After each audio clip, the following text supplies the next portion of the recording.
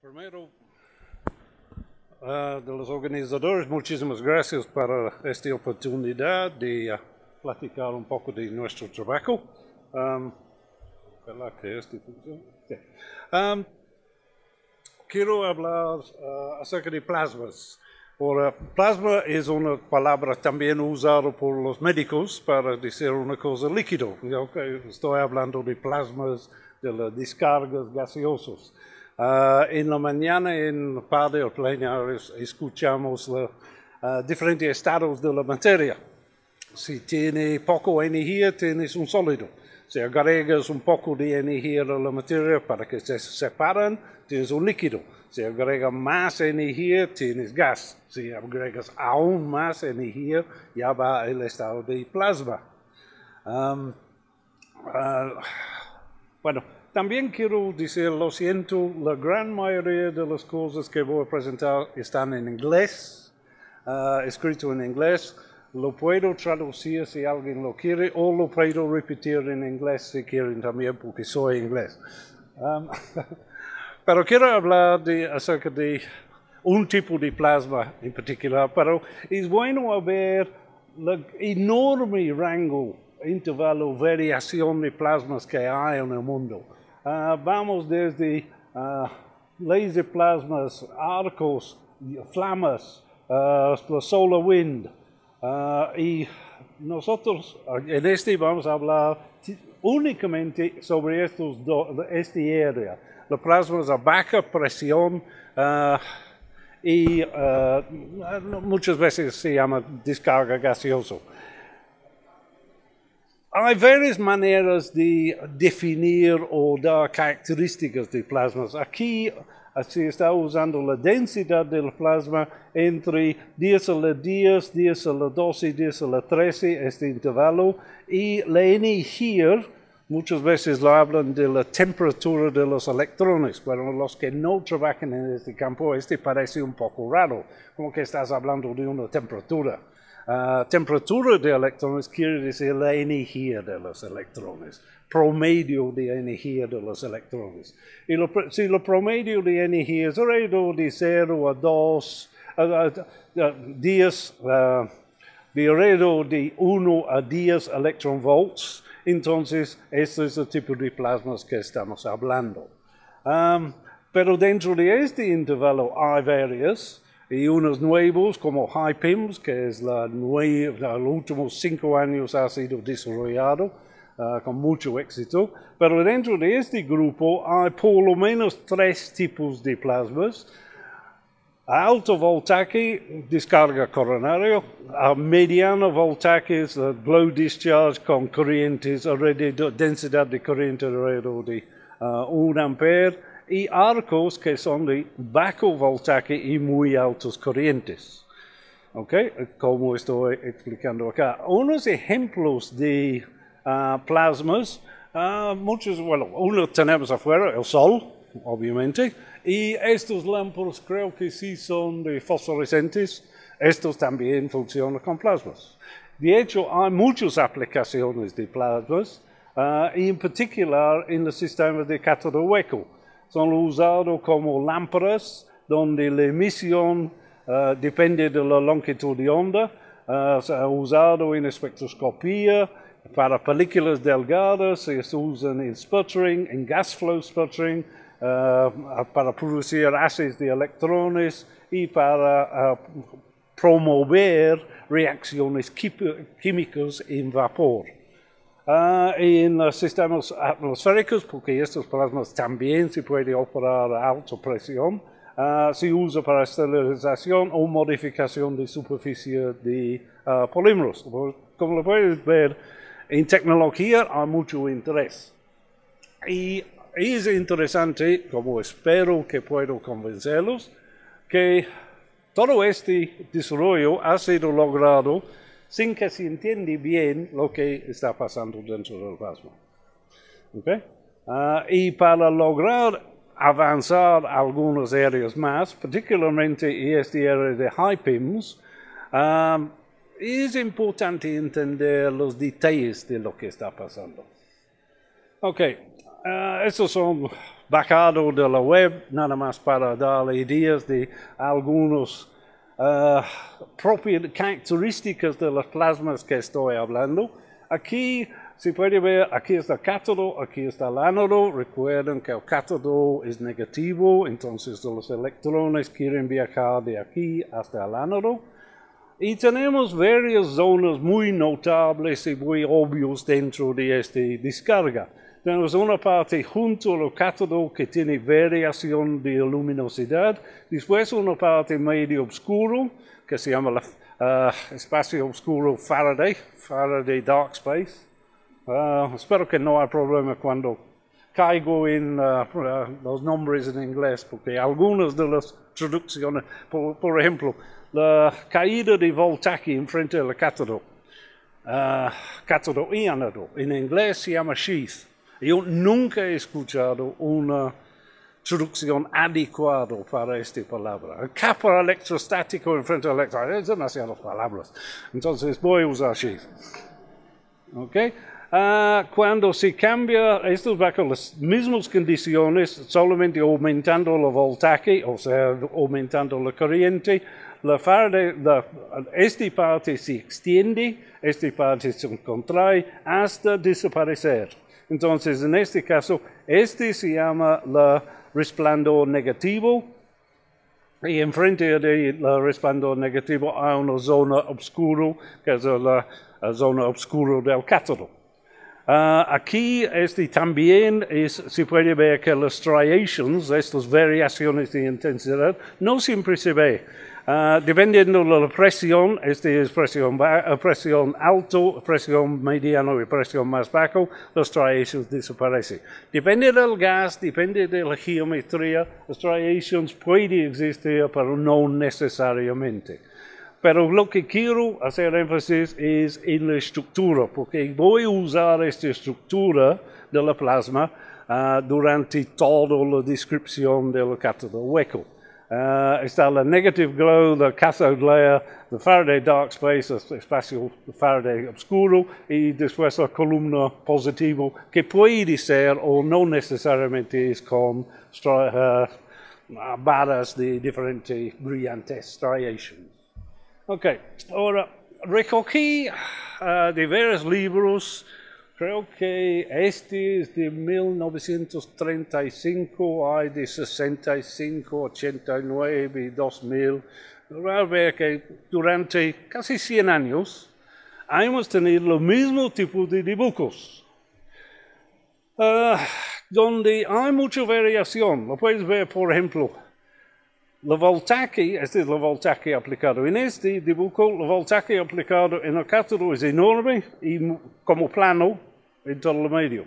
Aquí es grande y después más plano. Aquí hay un, hay un uh, aumento, pero detalles chiquitos que no concuerdan con uno para el otro. El otro punto muy notable y muy uh, descrito, vamos a ver acá. Tenemos el ánodo. Este dice que hay un ánodo dark space, o oscuro, después una, parte de resplandor. Este dice que hay una parte de resplandor y después una parte de oscuro. Es al revés. Aquí dice uh, resplandor y después oscuro. Este dice oscuro y después resplandor. Dependiendo del libro que ves, es una dirección o otra dirección. ¿okay? Y no hay ninguna explicación de por qué es uno o por qué es el otro. No hay tampoco descripción de cuándo ocurre uno y cuándo ocurre otro. Pero sí hay reportes de diferentes condiciones, diferentes geometrías, diferentes gases, diferentes intervalos de presión, diferentes intervalos de voltaje, que cambia el orden de la resplandor y oscuro. Si, uh, puedo recomendar un área de investigación muy básico. um, también la, convencionalmente la explicación de estos partes luminosos era que los electrones fueron uh, expulsados del cátodo por algún método y después, ups, y después acelerado en el campo eléctrico que está enfrente del cátodo, primero produciendo, uh, uh, excitando el gas y produciendo luz, y después por alguna razón ya no produce luz. Y la explicación convencional, lo voy a enseñar en un momento, tiene que ver con un pico que ocurre en la sección cruz de interacción del electrón con el gas. Y después uh, un aumento y una parte de negative glow, que es la parte más luminosa de todo el plasma. Entonces, este es donde está la mayoría de la interacción de los electrones con el gas. Okay. Uh, y esto es lo que quise decir en esta parte. Uh, pero hay, hace unos años, 1996, 98, un grupo de Amiens Bocats en Bélgica, en la Universidad de Ghent en Bélgica, hicieron un estudio muy cuidadoso del uh, uh, espectro de la emisión de luz y en función del lugar, la posición, entonces fotoemisión y con resolución espacial, de diferentes partes del plasma junto al cátodo. Y ellos llegaron a la conclusión Así está dicho aquí, el primer pico, este, la glow, estaba relacionado con la interacción de iones de alta energía con el gas de argón. Y la parte, la negative glow, tenía que ver con electrones. O sea, la primera parte no tenía nada que ver con electrones. Por este cambia la, la descripción y explicación del fenómeno de la plasma como normalmente lo usamos. Entonces, su idea demostró que este tiene que ver con este tipo de acción, un ion de argón de alta energía o suficiente energía golpea con un argón gas allá uh, en esta sección, produce uh, un uh, átomo de argón excitado que a caer um, a su estado base emite luz y esta es la luminosidad que podemos.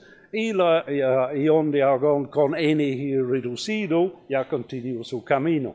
En esta parte tienes electrones con suficiente energía, golpea el átomo de argón, excita el átomo de argón, again produce luz y el electrón sigue. La uh, umbral para esta reacción es alrededor de 12 electronvolts. Entonces, se, podría argumentar que los electrones, hasta más o menos por acá, no tienen suficiente energía para producir esta reacción. Pero, tradicionalmente, tiene un enorme voltaje en esta parte. Entonces, necesitamos un enorme voltaje en esta parte para producir electrones que tienen energías de 25, 30 electronvolts. Y después necesitamos muy poco voltaje para otra vez producir los electrones con 25, 30 electronvolts para explicar la luminosidad de la positive column. Hay, hay una contradicción fuerte y no hay una buena explicación hasta la fecha de este. Ok, para seguir quiero hablar un poco de los detalles de lo que pasa cuando un ion que está producido dentro de la, en esta sección acá, este produce un ion, además de uh, argones excitados, aquí se producen iones. Estos iones son acelerados por el campo enfrente del cátodo, golpean el campo, el cátodo y puede producir una gran variedad de uh, fenómenos. Uh, fotones, rayos X, electrones secundarios y partículas spotted. Uh, otra vez aquí, lo siento, pero un introducto. en México, en muchos países de habla, hablan no de sputtering, hablan de pulverización católico o erosión católica. Pues si lo busco la definición de qué es pulveración y qué es erosión, ni es uno ni es el otro. Okay? Si no quiere usar la palabra, la traducción de sputtering, recomiendo que lo use palabra prestado de sputtering, porque si no está haciendo un error en la descripción. Okay. Deténme. Pero uh, esta es la parte muchas veces que nos interesa.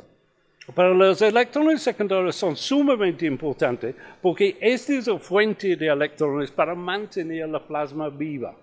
Para tener un plasma necesitamos electrones y necesitamos iones. Entonces necesitamos buscar los caminos donde podemos producir estos dos iones, uh, estas dos especies con carga.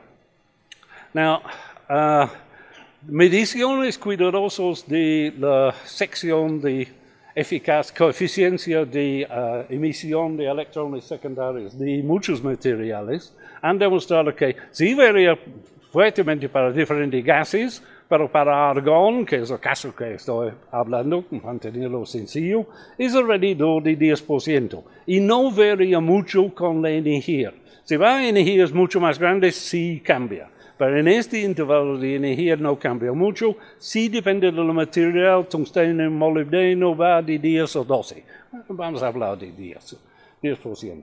Entonces, para cada ion que llega, se produce, cada 10 a 100 iones que llega, se produce 10 electrones.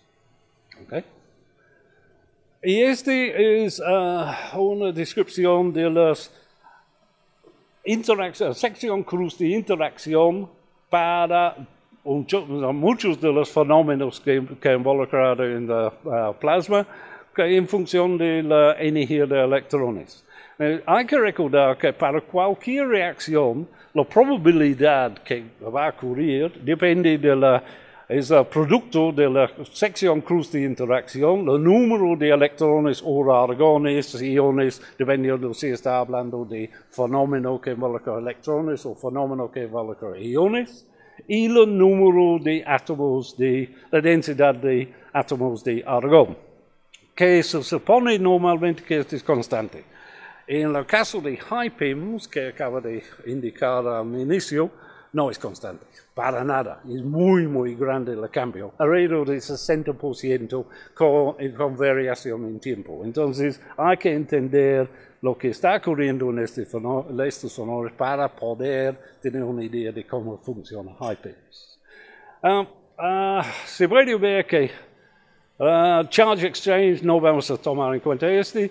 Elastic collisions, colisiones elásticos tienen alta probabilidad lo de ver de elastic collisions para el ion de argón también tiene colisiones para energías bajas si tiene una alta colisión, probabilidad.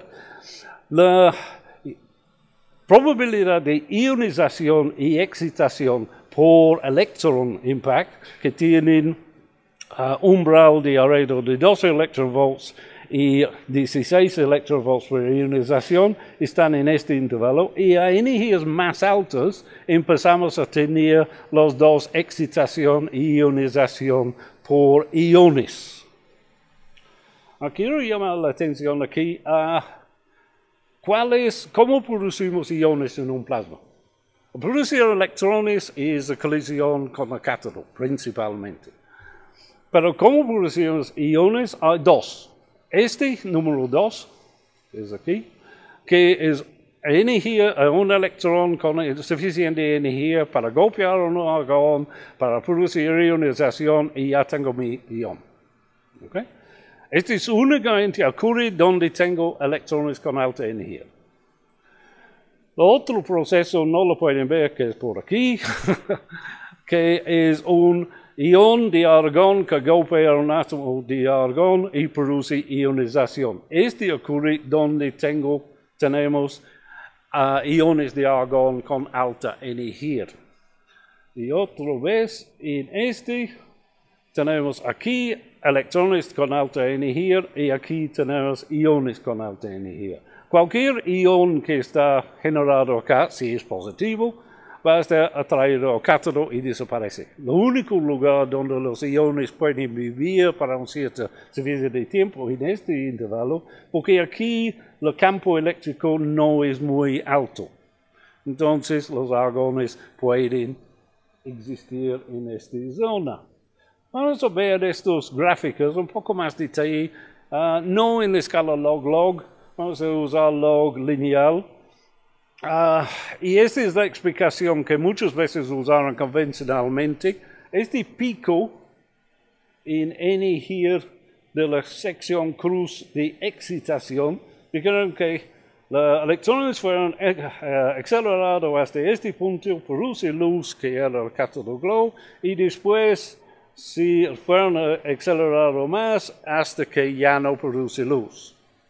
Pero tienes que acelerar más de 120 electronvolts, desde como 30 hasta 120, para que tienes una reducción de la sección cruz de 50%. Y la luminosidad en estas dos regiones tiene un intervalo de dos órdenes de magnitud. Un cambio en la excitación sección cruz de 50% no te explica nada. Entonces, esta es más evidencia porque la descripción tradicional está incorrecta. Uh, una parte importante es para uh, energías vacas, la sección cruz de excitación, uh, de excitación, producción de luz, sí es más grande de la ionización. Esto quiere decir que tienes luz antes que tienes ionización. Pero también quiere decir, si tienes ionización, a fuerza tienes luz. No hay manera de evitar producir luz en una zona donde tienes excitación. Y muchas veces, muchos artículos lo vas a leer que hablan del alto índice de ionización en la zona oscura del cátodo, el espacio eh, del sheath del cátodo. está mal. Simplemente no puedes tener ionización sin luminosidad. Entonces, esta idea está mal. Ok, vamos ahora con estas ideas más o menos básicos. Vamos a tratar de hablar un poco de cátodo hueco. ¿Qué es un cátodo hueco para empezar? Cátodo hueco es donde tienes un electrodo cilíndrico o planar que es un cátodo que es alrededor de todo el plasma. Okay? Ahora, este puede ser en tres uh, configuraciones. Uno, un plasma más o menos normal, convencional, o un plasma donde tienes alto voltaje y bajo corriente, o puedes tener un sistema quasi resonante que se llama la Holocaust effect, y este es voltajes medios, pero corrientes significativamente más altos, este es corriente. Y arco, si no se enfría los electrodos, llega un punto de la temperatura de estos arcos, eh, cátodo, empieza a tener emisión térmica de los electrones y esta fuente adicional de electrones hace que este plasma es uh, un arco distribuido uh, de muy bajo voltaje y muy altos corrientes. Entonces podemos tener tres diferentes tipos de plasma dentro de un cátodo hueco. Uh, estos son varios reportes de diferentes grupos alrededor del mundo. Uh, uno muy explicativo es este. Este es el voltaje aplicado, esta es la corriente. Y son experimentos para diferentes distancias entre diferentes separaciones de los electrodos, con una presión, creo que es de 5 milímetros milibar, 5.5 milibar. Ustedes pueden leerlo mejor que yo. Uh, entonces, si aumenta el voltaje, tienes bajo corriente y de repente se enciende este uh, plasma resonante y tiene un aumento en la corriente o uno o dos órdenes de magnitud. No es lineal, no es algo que aplico un poco de voltaje y tengo uh, igual cantidad de electrones, no Aplico un poco de voltaje y si, como avalancha se desprende. y este es lo mismo, el mismo fenómeno. Este, las corrientes aquí, la voltaje es aquí, este es reversa, y este es para diferentes presiones. Y de hecho se ha encontrado que el punto importante es el producto presión por la distancia entre los electrodos, el cátodo. Y hay un mínimo y hay un máximo. Este es un grupo de Brasil donde demostraron que tiene alta corriente, se aumenta la presión o la distancia entre electrodos y la corriente cae. Entonces hay un máximo y hay un mínimo en el producto PD para establecer el uh, sistema quasi resonante. También depende de diferentes gases. Este es el límite máximo para estas condiciones, para helio, para krypton, para xenón, para uh, nitrógeno, y lo puedes ver que hay variación que depende del tipo de gas. Este es el único trabajo que encontré donde, bajo las mismas condiciones, los, los autores hicieron experimentos con DC y con DC pulsado. DC pulsado a 25 kHz. 25, eh, no, 250 kHz. Y lo voy a ver que la, uh, la uh, tendencia entre la voltaje y la corriente continúa, uh, aun si la voltaje está pulsado. Esto es importante. Entonces, no, no, es necesariamente DC, también puede ser pulsado, también puede ser DRF, puede tener el fenómeno de um, uh, sistema quasi, quasi resonante. Uh, todos estos factores tienen que ser explicados por el fenómeno que usas como modelo. Y desde 1923, este artículo por Help fue quien introdujo la idea de electrones de péndulo, que los electrones son rebotados, aquí la sheath, aquí rebotan los electrones, entonces van hasta el otro lado, rebotan y regresan, rebotan y regresan. Y este es explicado en este artículo. Este está en alemán y una amiga me ayudó a traducirlo y me dijo que está escrito en un alemán viejo muy difícil. bueno, qué bueno que ella me lo explicó. Pero también me di cuenta que ah, no es un ejemplo de una buena experimentación. Uh, hay serios problemas. Ah, pero hay que ver un poco los detalles de porque esta idea de la uh, moción péndulo ha durado hasta la fecha. Todavía lo encuentro artículos que hablan del péndulo electrón en el cátodo hueco. Parte del problema es, o uno de los problemas, es que cuando el electrón llega a este punto para rebotar, su voltaje tiene que ser hasta cero, o su energía cinética tiene que ir hasta cero, y para ser rebotado y llegar hasta acá. Si es un péndulo, entonces la energía potencial aquí es grande. Pues no puedes usar energía potencial para causar ionización. Usas energía cinética, no únicamente. Entonces, la, ionización únicamente puede ocurrir aquí en medio. y cada vez que pierdes los 16 electron volts entonces deja de seguir moviendo. Entonces tenía la explicación de uh, rebotar de aquí hasta aquí y regresar. Y este sin tomar en cuenta las colisiones elásticas, porque lo vieron en las secciones cruz, la uh, sección, vamos por atrás. Aquí la colisiones elásticos, electrón uh, elástico es el negro, tienes uh, significativamente más alto que este, es como un factor de 5 más alto. Ok. En una colisión elástica, el electrón pierde muy poco energía, aproximadamente un milielectron volt. Pero, pero, sí sufre uh, cambios muy fuertes en su momento, cambia su dirección. Entonces, en lugar de rebotar y seguir balísticamente de un lado al otro, va a ser rebotado e ir en otras direcciones que no tienen nada que ver con el movimiento péndulo. Entonces, un poco de duda sobre la, uh, los péndulos. Uh, había varios artículos porque puedes tener fenómenos de fotoemisión y también puedes tener uh, producción de uh, um, átomos de alta energía metaestables, pero varios estudios han demostrado que la fotomisión puede ser que ocurre, pero no es significativo para explicar el fenómeno de cátodo hueco, porque ocurre antes que tienes el, uh, el sistema quasi resonante y uh, ocurre después de quasi resonante. Entonces, la, si la cantidad es lo mismo, mm, puede ser que ocurre, pero no está ayudando.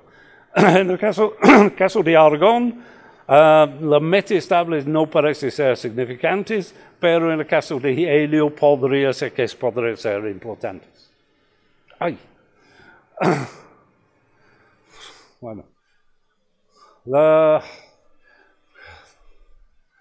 la descarga casi depende del producto de la presión y la distancia. Gracias. Uh, típicamente, el intervalo o ventana de operación del sistema quasi resonante es de un centímetro a 10 centímetros, aunque la geometría uh, de los electrodos sí puede variar estos límites que son un poco borrosos, no, no son exactos.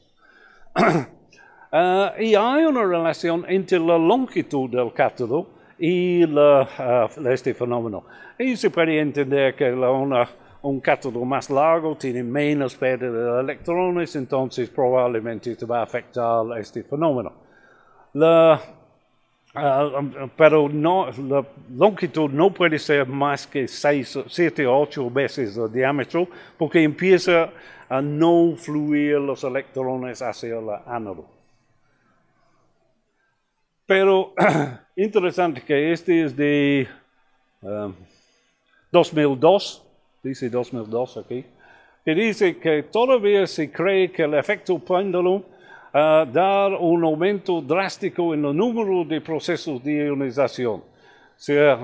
aunque se puede ver que de calculaciones el efecto péndulo no resulta un aumento en el número de ionizaciones, pero el efecto péndulo resulta en eh, ionización siendo mucho más eficiente en la parte resplandor negativo, sección de resplandor negativo. Uh, no hay necesidad de multiplicación de electrones en la sheath. Qué bueno. Si es oscuro, no tienes ionización. Entonces, para tratar de describir este, está publicado en Tinsel Films hace un par de años. Uh, este es un esquemático de lo que vemos en un cátodo hueco. Este es el cátodo. Tenemos el Ashton Dark Space típico, tenemos la, uh, la uh, que tiene que ver con iones, no tiene nada que ver con electrones. Después tenemos el espacio oscuro del cátodo y después el espacio resplandente de negativo, que es esta sección acá y una sección en medio que es el Faraday Dark Space y después todo lo demás plasma conectando todo este al ánodo. Ah, que muchas veces es mucho más complicado el sistema del ánodo. Y este es un trabajo que encontré publicado donde ah, hay dos, estas las fotos son mejores en este, donde los autores tomaron fotos del plasma mientras que aumentaron la voltaje. Y tomaron, analizaron la luminosidad o la uh, distribución de luminosidad uh, sobre el cátodo para las diferentes condiciones. Este es del segundo artículo, si lo puedes ver que es semejante. Entonces, aquí tenemos un cátodo normal, corriente, bajo, corriente, uh, voltaje aumentando. Después, si cambia, si enciende el sistema um, quasi resonante y después se empieza a calentar, no tener enfriamiento sección. Entonces, me interesa ver esta sección acá. El B es este, donde este es muy semejante al esquemático que acaba de decir. La, negative glow con un parte oscuro en el centro, que es este.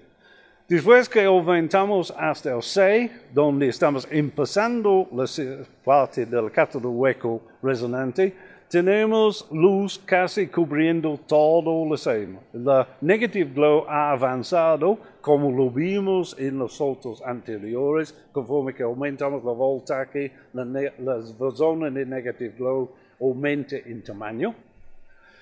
Y este concuerda con los dibujos, los gráficos de la um, variación de luminosidad sobre este. También quiero llamar la atención de que la sheath, esta sección acá, es, la sheath es grande aquí, conforme que aumenta la voltaje, la sheath disminuye. Y este también se puede ver en este caso, la sheath disminuye. Entonces, tenemos que explicar este fenómeno. Entonces, haciendo un dibujo un poco más esquemático para lo mismo que tienen allá, tenemos que la, donde estamos produciendo luz, tenemos un, alguna posición semejante al umbral de producción de luminosidad no va a ser exactamente 25 electronvolts, porque va a depender de la, presión del gas también, pero va a ser alrededor de esta parte. Y un poco más tarde vamos a tener el umbral donde tenemos ionización. Los electrones pierden energía, ya no pueden producir luz, ya no pueden producir ionización, entonces todo ocurre dentro de esta zona. Aumentamos la voltaje, la parte del centro expanda y esta zona donde podemos tener excitación, ionización expanda. Y se sigue expandiendo hasta que cubrimos la última parte. Y cuando cubrimos la última parte, en la parte en el centro, tenemos casi como un enfoque de todos los electrones que vienen por todos lados y tenemos la situación donde tenemos alta concentración de electrones con alta energía y tenemos alta concentración de producción de iones de argón. En esta parte central, lo repito, el campo eléctrico es muy pequeño, entonces los iones no, no, no hay razón por que se alejen. Y hay que recordar que este es un balance de la producción de los eh, iones de argón en la fase gaseosa con la producción de electrones en el cátodo. Y es esos dos procesos que está manteniendo el plasma vivo. Si aumento el voltaje por un poco de, volta, poco de volts, por ejemplo, puedo cambiar desde 350 tengo alrededor de 30 miliamperes, aumento a 370 volts, 20 volts de aumento. Y la corriente se aumenta hasta casi 50. Entonces, 20 volts adicional corresponde de una ionización, ionización más, 16 electrovolts. Este es lineal. Pero este aumento no es lineal, este eh, aumento es una multiplicidad. Entonces, el proceso de péndulo, si existe electrones péndulos, aumentando la voltaje por 10, 20 volts, voy a aumentar una ionización más. Este no va a aumentar la corriente por esta cantidad. ¿Okay? Pero, lo que puedo hacer es que si aumento aquí puedo empezar a formar, aquí dice electrón, ion de argón, ion de argón, que produce un ion de argón doblemente ionizado, y el coeficiente de producción de electrones secundarios para este es 0.45. Este es un factor, esta es una multiplicación por un factor de 4. Entonces, esta es nuestra explicación de por qué el cátodo hueco uh, funciona por la producción de argones uh, ionizados. Y hay un par de trabajos que sí demuestran para cátodos huecos resonantes sí hay evidencia de la existencia de argones doblemente ionizados y actualmente nosotros estamos en experimenta, uh, haciendo experimentos para medir este, los argones doblemente ionizados, helio, neón y xenón. Ojalá que pronto pueda presentar estos resultados.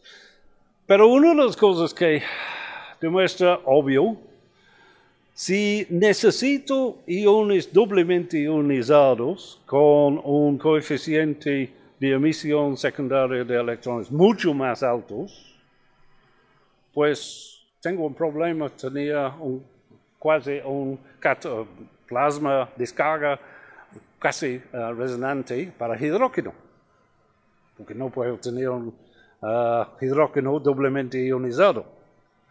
Entonces decidimos hacer unos experimentos en nuestro sistema. Uh, este está enfriado por agua. Este es alrededor, es aproximadamente un centímetro de diámetro. Entonces, Uh, lo hemos usado para producir materiales nitro de carbono, uh, permaloy, uh, logramos producir unos tal vez nanocristales de C3N4. Um, hicimos experimentos con argón, helio y hidrógeno a diferentes presiones, a diferentes flujos. No vimos variación con flujo, pero para presiones bajas, punto 3 y punto 4 TOR, tenemos una descarga común y corriente, no es resonante. Pero con uh, um, presiones mayores, aumenta la voltaje, de repente se enciende el cátodo uh, hueco uh, resonante, se produce mucho más luz y la corriente eléctrica aumenta así. Con helio, semejante. Con hidrógeno, nunca. Entonces, Uh, este es uh, comparando condiciones uh, semejantes para argón, helio y hidrógeno. Y creo que este apoya nuestra idea que el cátodo hueco es producido por iones con doblemente ionizado. ¿Cuánto tiempo tengo? Okay. Puedo introducir un poco de uso también. La cátodo, el arco funciona, este también lo introduzco porque es un área, creo que de interés, podría ser.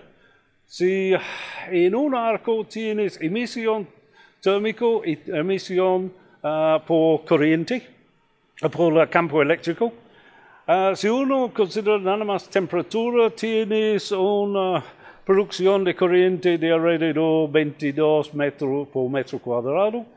Para campo eléctrico tienes alrededor de 4 amperes por metro cuadrado. Si combinan los dos, temperatura y campo eléctrico, ese es el factor.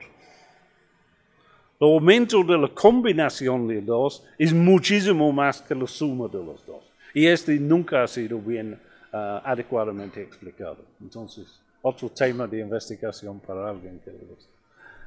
Uh, nuestro, uh, una otra aplicación que nosotros decimos, se puede empezar con cátodo hueco cilíndrico o cátodo hueco planar, con dos placas. Ahora, si lo tomo estas dos placas y lo doy la vuelta para hacer una forma toroidal, tengo entre las dos, dos placas el efecto, puedo tener la plasma uh, quasi resonante. Y empujando gas a través de este, puedo operar este a altas presiones donde el sputtering de aquí produce material que va hasta acá, que va hasta acá, entonces no sale, pero si uso una presión de gas suficientemente alta, puedo producir nanopartículas dentro del gas y usar este flujo de gas para extraerlos. Este es el sistema que hicimos. El primer sistema no estaba enfriado por agua y tenía algunos problemas con la variación de presión. Lo que hicimos era también, estas fotos de su operación, se puede ver que el éxito, ah, ah, la parte saliendo, había mucho plasma. Y este plasma es suficiente para descomponer metano o acetileno para depositar carbono amorfo. Entonces, generamos los nanopartículas dentro del uh, cátodo. Estos fluyen afuera, depende, su flujo de, uh, su uh, emisión depende del flujo de gas. Y después este gas, plasma, descompone este y produce carbono amorfo como un depósito. Entonces, un material para producir nanocompósitos in situ con una dispersión uh, bastante adecuada. Estos, estos son pedazos de vidrio, lo típico entonces se puede ver que la área depositada es bastante bueno y estos son algunas de las características de la tasa de depósito uh, en función de la potencia del flujo de gas y la distancia del electrodo porque el flujo de gas sí es cónico, entonces hay una distribución así. Esos son algunos de los materiales, este dice punto un tor, entonces en función de presión se cambia el tamaño de las nanopartículas. Después en este intervalo algo ocurre. No estamos seguros. Si ve que cada uno de estos está producido por puntos muy chiquitos, pero algo ocurre en el sistema que uh, propone, promueve la formación de clústeres mucho más grandes. Y después este desaparece, y lo hemos repetido este varias veces, y siempre encontramos lo mismo. No tenemos buena explicación hasta la fecha, pero después tenemos la nanopartícula. Uh, en este caso, la distribución de nanopartículas, si contamos números más o menos, es más o menos 5 nanómetros alrededor de 20, que no es una distribución muy estrecha, pero tampoco está muy mal. Uh, hicimos el experimento usando bismuto y uh, metano uh, y acetileno. Estos son la gráfica de la cantidad de carbono bismuto, tenemos variación de la resistividad y diferentes estructuras. En particular se puede ver cuando tienes poco carbón y mucho bismuto, puedes ver las nanopartículas de bismuto, y conforme que aumenta, ¿dónde está el otro? Este, uh, este es uh, um, carbón uh, bismuto y este también es mucho carbón homófo y muy poco de las nanopartículas de bismuto. La segunda variante del sistema ya tenía, ya tiene Uh, enfriado por agua es un poco más complicado y tiene sistema de flujo de gas radial. Y hemos usado para producir nanopartículas de aluminio. Y uh, yo creo que no hemos hecho el análisis todavía de la variación de tamaño, pero creo que se ve bastante bueno la uh, distribución de tamaños en este, y este es con aluminio. Entonces, esas son algunas de las conclusiones que hay problemas con los modelos tradicionales, no explican bien el fenómeno. Um, la, idea de tener iones doblemente ionizados puede explicar el fenómeno del cátodo hueco, pero tiene también implicaciones muy importantes para muchos otros sistemas de plasmas. Si tiene plasmas donde tiene alto grado de densidad, no le dije, pero típicamente en hueco la densidad del plasma es 10 a la 12 hasta 10 a la 13 por centímetro cúbico.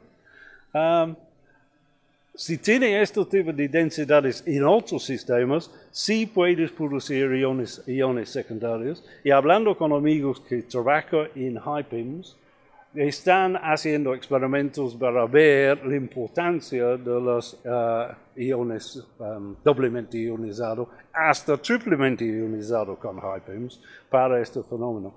Uh, hay que recordar que si existe este, el sheath lo aumenta la energía, lo bombardea con más energía. Y uh, no puedes tener cátodo hueco con hidrógeno. estos son varios de alumnos que obviamente son, okay, como digo, algo más. Ellos son los que hacen el trabajo. Yo tengo la, yo le disfruto a dar.